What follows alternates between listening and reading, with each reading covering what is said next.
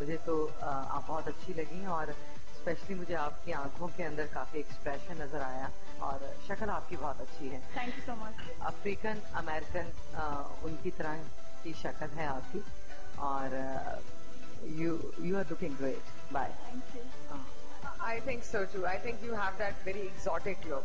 Yeah. And and it goes a really long way. ایک چیز اور میں کہنا چاہوں گی کہ مجھے آپ کا نا ٹپیکل پاکستانی فیس نہیں لگا تھوڑا سا ڈفرنس ہے بیسکلی مائی فیملی جو ہے وہ انڈین ہے so that's why.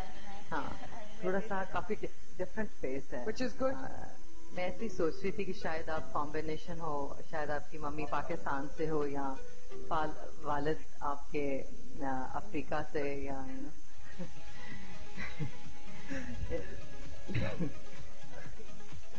میرا نے کہا کہ آپ کی شکل بہت اچھی ہے بٹ ان کو میری فیملی کے ریلیٹڈ کوئی بات نہیں کرنی چاہیے تھی، انہوں نے جو بولا وہ this time check is brought you by